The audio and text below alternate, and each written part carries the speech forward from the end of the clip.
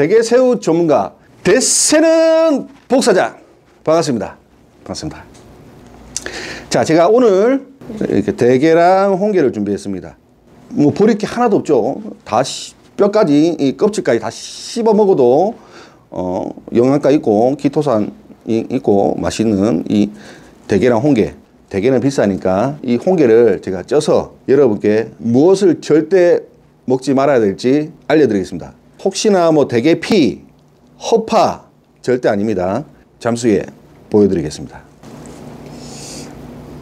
이 마이크를 안 켜서 새로 한 마리 쪘습니다. 근데 제가 좀 전에 영상을 찍을 때 정말 충격이었어요. 이거는 정말 드시면 안 됩니다. 제가 잠시 뒤에 왜 그랬는지 영상을 잠시 보여드리겠습니다. 일단은 자 홍게 일단은 배를 갈라서 내장의 요 살을 보시면 여기 하얀색 있죠. 이게 대게피입니다. 대게피예요. 근데 이거는 먹어도 됩니다. 맛도 내장 맛하고 비슷합니다. 괜찮아요. 자, 요 하얀색. 대게피가 원래 약간 푸른색의 투명한 색인데 이렇게 익으면 이렇게 하얀색 푸딩 같이 변해요. 이거는 드셔도 됩니다. 예. 비리지도 않고 역한 맛도 없습니다. 내장 맛하고 비슷해요. 음, good. 자, 그 다음에 이 허파. 드셔도 됩니다. 근데 굳이 드실 필요는 없어요. 공기청정기 필터 같은 역할을 하기 때문에 짠맛밖에 안 나요. 다 드셔도 됩니다. 근데 굳이 드실 필요는 없다.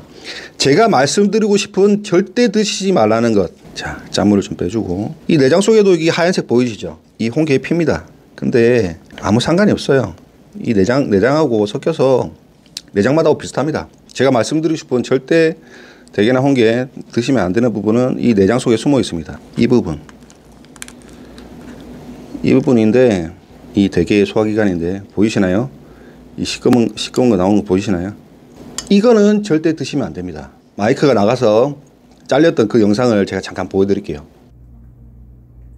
자, 어, 보이십니까? 아, 소화가 덜 됐다. 모기가 그대로 있다. 우와. 그건 뭐예요? 몰라 뭐. 뭘 먹은 것 같은데. 먹기? 어, 뭘 먹은 것 같은데. 게 먹기. 어, 거기 혹시 뭐? 제가 여러분께 보여드리고 싶었던 게 바로 이 부분인데 바로 이 대게가 자, 이 부분 이 대게가 먹이를 먹고 소화액으로 소화를 시키는 소화기관입니다. 바로 내장에 숨어 있는 이 소화기관. 이 부분은 냄새도 비리고 쓰고 아, 말로 설명할 수도 없습니다. 저는 이 맛을 알기 때문에 일단은 지금 보시면 안에 이 붉은 대기가 먹고 나면 먹이들이 그대로 있어요. 와,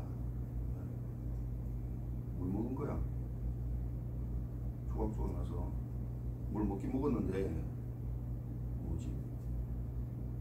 오징어, 딱딱해요? 오징어 같은데? 음? 오징어 먹은 것 같은데 물렁물렁한데 자 보셨다시피 얘가 먹던 음식물의 찌꺼기까지 다 남아 있어요 그래서 비린내 쓴맛 역한 냄새가 나는 게 다 이것 때문입니다 이걸 제가 일단 한번 먹어볼게요 이거 아니까 더 무서운 맛인데 또 이거 한번 먹어볼래? no no no no. 어. 자 제가 한번 먹어보겠습니다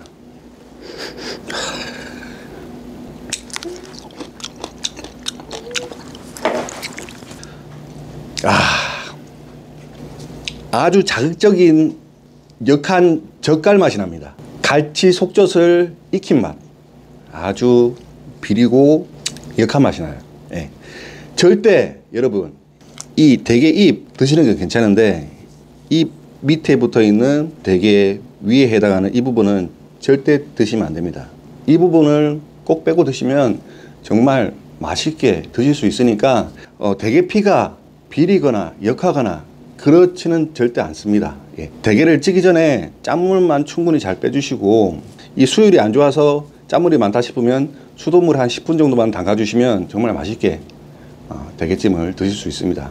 자, 오늘 영상이 여러분께 조금이라도 도움이 되셨다면 좋아요, 구독 한번 눌러주시고 다음 영상에서 또 뵙겠습니다.